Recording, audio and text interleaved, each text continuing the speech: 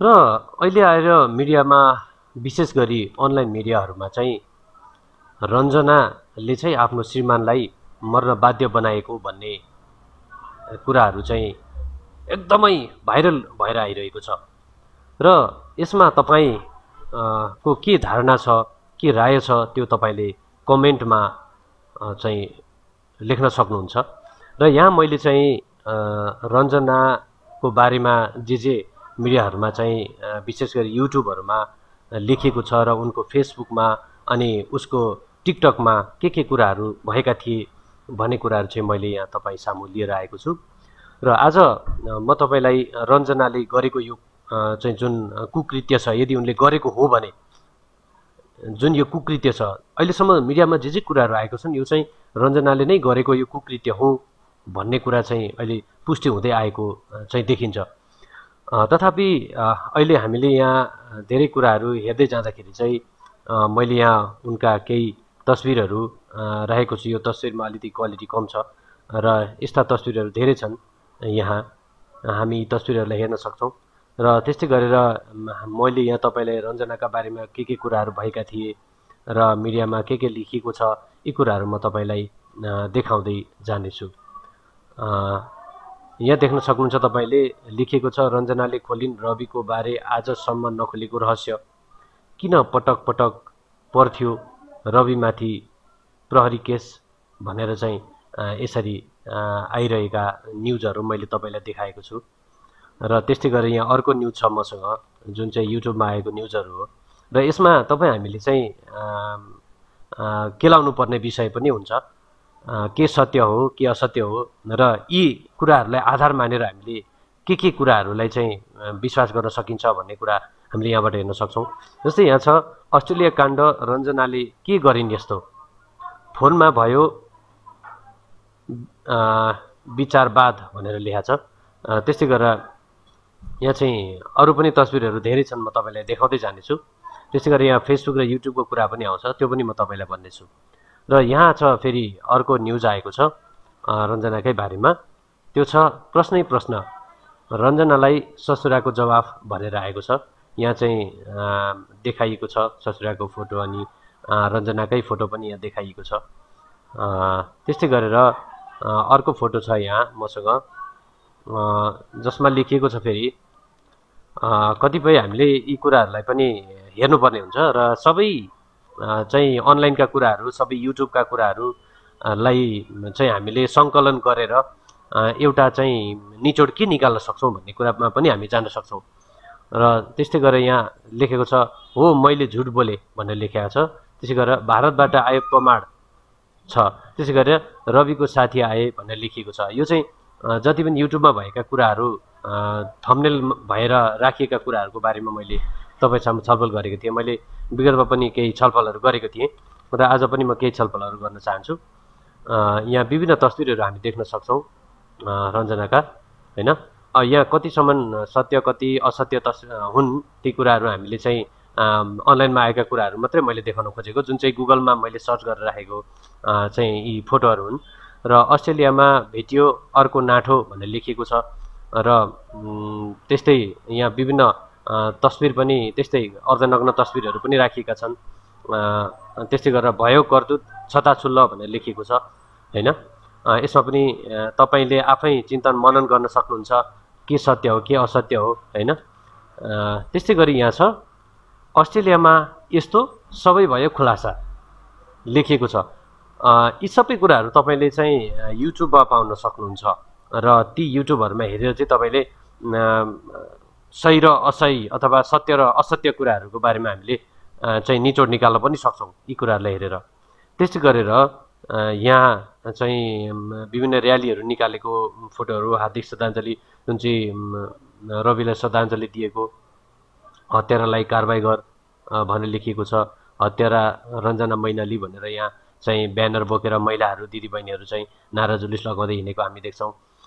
त्यस्तै गरेर हामी हेर्न सक्छौँ यहाँनिर डरलाग्दो रहस्य भनेर लेखिएको छ यहाँ। त्यस्तै गरेर ओमाई गड यस्तो रहेछ कारण भनेर चाहिँ एकजनाको तस्विर देखाइएको छ। Rest in peace Ravi Ruwali दाई भनेर जसले यो युट्युब बनाउनु भयो युट्युबमा यो जुन न्युज हाल्नुभयो उहाँले चाहिँ रवि रवाली दाईको उहाँ चाहिँ फ्रेन्ड हुनुहुन्थ्यो सायद र उहाँले यो लेख्नुभएको छ। र रवि रवाली पनि निकै हँसिलो मुद्रामा हुनुहुन्छ रञ्जना। यति राम्रो वैवाहिक जीवन बितेको देखिन्छ उहाँहरूको। चाहिँ यो अनलाइन अलिकति स्टडी गर्दाखेरि चाहिँ उहाँहरूको एकदमै राम्रो वैवाहिक जीवन उहाँहरूको चाहिँ अत्यन्तै राम्रो वैवाहिक जीवन बितेको जस्तो देखिन्छ होइन? यो हामी हेर्न सक्छौँ। त्यस्तै गरेर अर्को यहाँ छ मसँग चितवन काण्ड भनेर रञ्जना यहाँ चाहिँ विवाहको कसैको विवाहमा जुत्ता बोकेर चाहिँ जुत्ता लुकाएर जुत्ताको मोल माग्दै जस्तो यहाँ एउटा हँसिलो मुद्रामा तस्विर देखिन्छ त्यस्तै गरेर यहाँ विभिन्न तस्विरहरू हामी देख्न सक्छौँ। मान्छे हेर्दाखेरि यो सबै न्युजहरू हेर्दा चाहिँ हामीले के बुझ्न सक्दा रहेछौँ भनेदेखि मान्छेको अनुहार पढेर चाहिँ उन उसको चाहिँ चरित्र अथवा उस उसको भित्री कुरा चाहिँ हामीले बुझ्न सक्दैनौँ रहेछौँ। भन्ने कुरा पनि यहाँ बुझ्न सकिन्छ। त्यसै गरेर यहाँ चाहिँ टिकटकमा चाहिँ नाचिरहेको भिडियोबाट चाहिँ निकालिएको फोटो हामी देख्न सक्छौँ। रञ्जनले यहाँ चाहिँ टिकटक बनाइरहेकी छन्। होइन?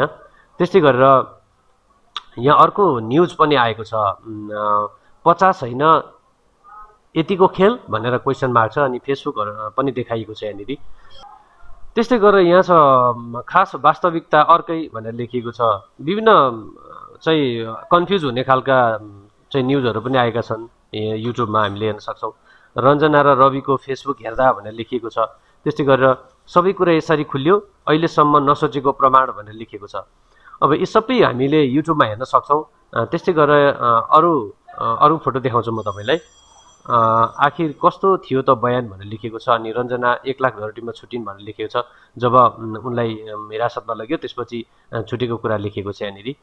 त्यस्तै गरेर म प तपाईँलाई पहिले फोटो देखाइसक्छु। त्यसपछि म उनको फेसबुक र टिकटकमा पनि हामी जानेछौँ। र यहाँ तपाईँ देख्न सक्नुहुन्छ उहाँ चाहिँ रञ्जनाको अलिकति घटनापछिको फोटो छ यहाँ। त्यसै गरेर विवाह वैवाहिक जीवनमा बाँधिएका यी तस्विरहरू हामी देख्न सक्छौँ। पारिवारिक जीवन चाहिँ गुज्रिरहेको जस्तो देखिन्छ होइन? विवाहमा पनि दुवैजना खुसी साथ छन्। त्यसपछि अहिले घटनापछिको चाहिँ मोड अर्कै छ। त्यस्तै गरेर यहाँ हामी हेर्न सक्छौँ अस्ट्रेलिया काण्ड। रञ्जनाको नयाँ कुरा बाहिरियो। चरित्रहीन भन्दै माताले गरिन् खुलासा भनेर यहाँ माताको कुरा पनि लेखिएको छ होइन? त्यस्तै गरेर म अन्तिम तस्विर देखाउँछु म तपाईँलाई जुन चाहिँ छिमेकी मिडियामा भनेर लेखिएको छ होइन? लगभग हेर्दाखेरि चाहिँ रञ्जनाको कर्तुत चाहिँ एकदमै नराम्रो भन्ने देखिन्छ। अब मैले यहाँ तपाईँलाई देखाउन लागेको कुरा के छ भने युट्युबमा चाहिँ टिकटकमा रञ्जनाको बारेमा के छ भन्ने कुरा हामी यहाँ देख्न सक्छौँ। यो लिङ्क छ म यो लिङ्क तपाईँलाई लिङ्कमा के छ त्यो पनि म तपाईँलाई देखाउने छु त्यस्तै गरेर यहाँ म लिङ्कलाई यहाँ हाल्दैछु। त्यसपछि यहाँ जुन देखिन्छ म तपाईँलाई म देखाउन चाहन्छु। यो चाहिँ एउटा युट्युबमा हालिएको रञ्जनाको टिकटक छ। तपाईँ हेर्न सक्नुहुन्छ यहाँ।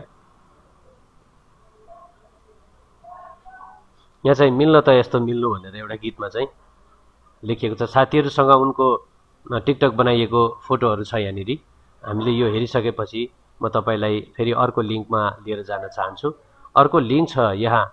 फेसबुक लिङ्क छ। म यो तपाईँलाई फेसबुक लिङ्क पनि यहाँनिर पेस्ट गरेर यहाँ के रहेछ?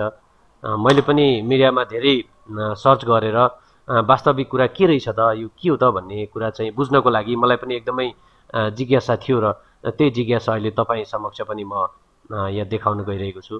त्यस्तै गरी तपाईँ यहाँ देख्न सक्नुहुन्छ डान्स भइरहेको छ यहाँनिर। नोभेम्बर बाइस तारिक पोस्ट गरिएको भिडियो छ यहाँ लाइभ छ यहाँ होइन?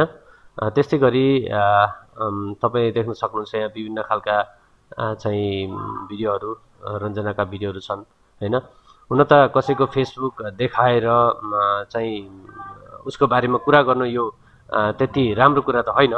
त तथापि अहिले जुन मिडियामा चाहिँ एकदमै भाइरल भइरहेकी चाहिँ रञ्जना होइन? जसले चाहिँ आफ्नै श्रीमानलाई चाहिँ मर्न बाध्य बनाएको भन्ने जुन कुरा मिडियामा पटक पटक पटक पटक आइरहँदा चाहिँ वास्तविक कुरा चाहिँ के हो त? यी कस्ती रहेछन् त। को हुन् त भन्ने कुरा एउटा जिज्ञासा मनमा आएकोले गर्दा चाहिँ मैले यो आज तपाईँलाई यो कुरा म अहिले देखाइरहेको छु। कृपया यसलाई अन्यथा चाहिँ नलिदिनु होला र यसलाई चाहिँ तपाईँ हामीले चिन्तन मनन गर्ने कुरा मात्रै हो र वास्तविक कुरा के हो त्यो मात्रै हामीले बुझ्न जरुरी छ। र अहिलेलाई भने मैले तपाईँलाई धेरै कुरा देखाइनँ र यति नै कुराहरू हामीले हेरेर चाहिँ रञ्जना कस्ती हुन् र रञ्जनाले किन यस्तो काम गरिन्? आखिर वैवाहिक जीवन यति मजाले बितिरहेको थियो उनले श्रीमानले निकै धेरै खर्च गरेर उनलाई चाहिँ पढ्नलाई पैसा पनि दिइरहेको कुराहरू पनि हामीले सुनेका छौँ। र यी सबै कुरा सुन्दाखेरि चाहिँ रञ्जनालाई के गर्नुपर्छ भन्ने तपाईँलाई कस्तो लाग्छ? कृपया कमेन्टमा चाहिँ तपाईँले लेख्नुहोला। र अहिलेलाई भने म बिदा चाहन्छु।